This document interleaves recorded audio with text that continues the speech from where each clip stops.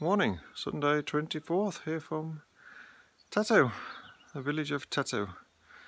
A really nice morning, we are up nice and early so we can have our breakfast and head into the mountains but uh, the owner's already been uh, been up I saw early. Up early out in the garden here collecting herbs.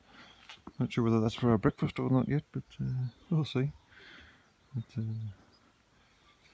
Bikes are getting loaded now. We'll have our breakfast there shortly. Have a really good day in the mountains today. We have uh, three three biking days left now. Two of them in the mountains and the last day is coming down from the mountains so the last day should be easy but got a few uh, hilly days ahead which uh, should be nice. Um, then we've got two, hopefully two resting days by the Iranian border. We'll be staying in another similar place we hope, similar to this. A bed and breakfast we've uh, we've booked. So um, should uh, hopefully be a few good days ahead, and then we've got a two-week kind of summer holiday in Iran and uh, Turkmenistan. So uh, we're not cycling there because I can't uh, not allowed to travel um, without a guide. So just to keep the costs down, we're traveling in a in a van and a minibus. That should be good and met his parents at Pierre Kirsten are coming back again to visit us, so that's really great. So we should have uh, 10 days, I think, together there in Iran. So really looking forward to that now. Can't believe we're so close to the border now. So should be good. There's no um, Facebook though in Iran. It's all closed down.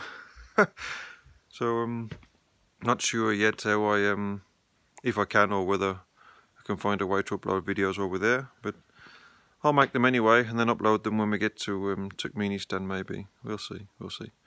But there's no Facebook, so I can't put videos on Facebook during the, the two weeks we're in Iran. But next three days we should be able to. And then we'll see what happens. Whoa, what a breakfast. This is another one of those simple moments. what an amazing breakfast here, to sit here. Enjoy the quiet, peace and quiet mountains. This is what it's all about. Not just cycling, it's also enjoying moments like this. Child's name? Child.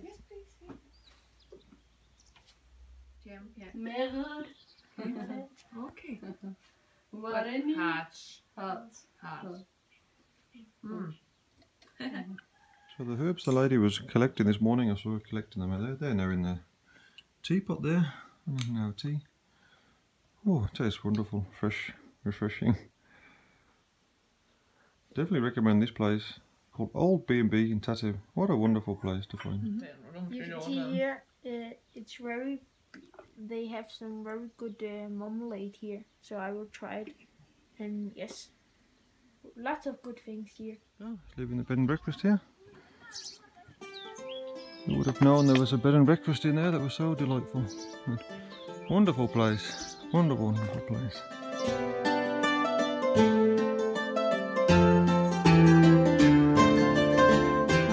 Tatev Monastery from the other side of the road now, also the side of the valley. Now we're heading up this road here. Absolutely no traffic on this side. That's what we heard from a few people now, so it's funny after so many days on main roads to all of a sudden be on these quiet roads. It'll be a nice day today the weather's amazing.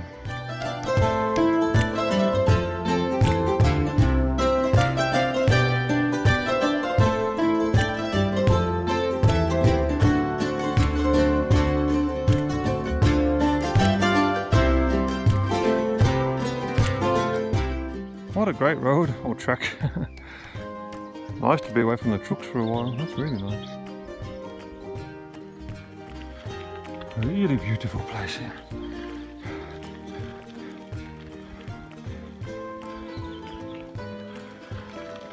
Probably the nicest day we've had in Armenia so far. The mountains here are just amazing.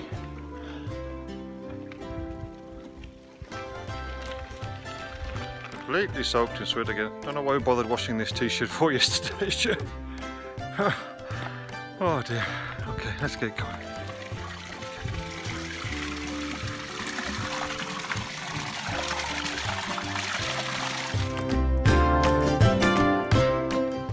This is only a fake smile, you know, from Jamie. Going well, going well. That's it, we're free of the valley. 1,975 metres.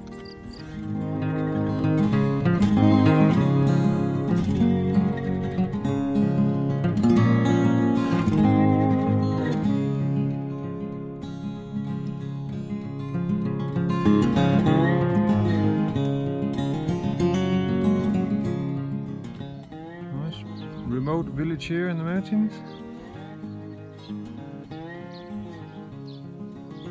This is their main road.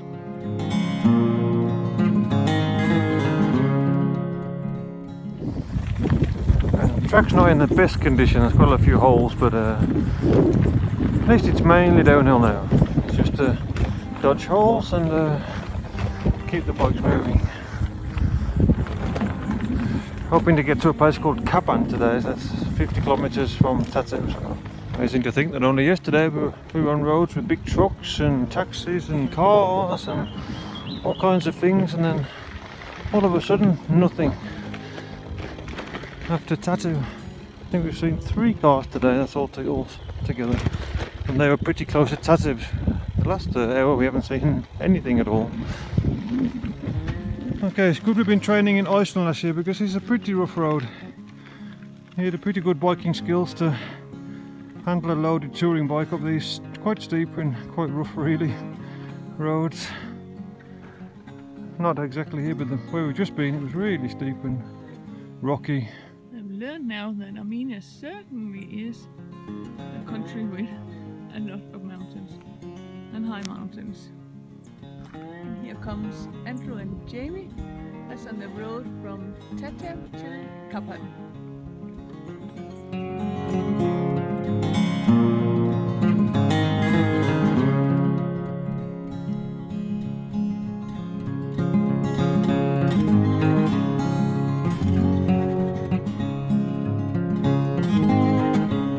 It's time for lunch. We've done 24 kilometres, we're about halfway on this dirt track here. Oh, sit on the blanket here, have some lunch before we carry on. It looks actually like once upon a time this was a sealed road. There's a few patches of uh, tarmac, but now it's just deteriorated into a, just a gravel track.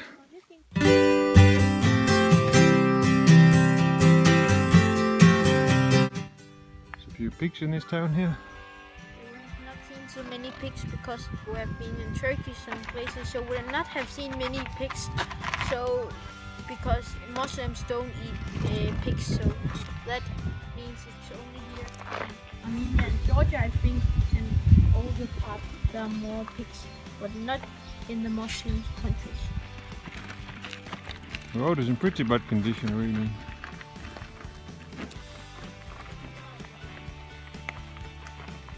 So we just met a girl on the road there from Spain. She was having a rest. She's been on the road now for five years, believe it or not.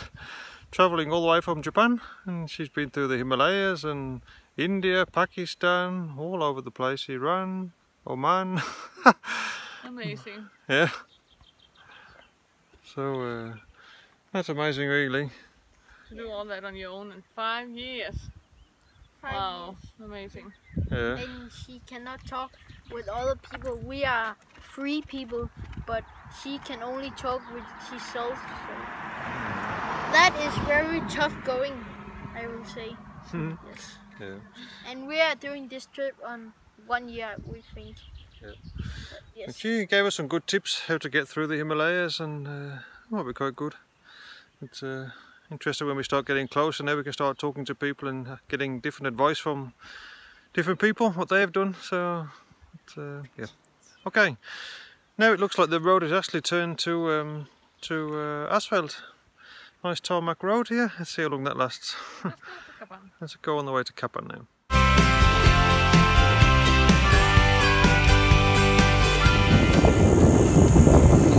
This is the fastest we've been rolling today. Over there. Wow. Looks nice. Okay, now we're back on the highway where we were yesterday. just to my left, a few hundred meters behind the bushes here, that's actually Azerbaijan. And we're carrying down the road here to Kapan, so we've got a restaurant and the campsite and uh, ready to set off on the M17 tomorrow to the Iranian border. Oh, feels really hot now we've come down here to Kapan. Really, really warm air.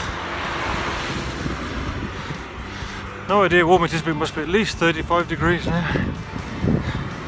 Now this is Kapan. Doesn't look like any nice town. Oh, it looks like it looks already old buildings and lots of closed factories. Looks like all this area is abandoned. Nowhere near as charming as the place we set up on this morning, but never mind. We'll have something to eat, camp, and then we'll be on the road tomorrow. And air conditioning. All a plate of chips for three hungry bikers. and a big chicken. Oh, we're in the centre here of Kapan. We already had a, a dinner, a quick restaurant, supermarket shopping, so we're ready for tomorrow.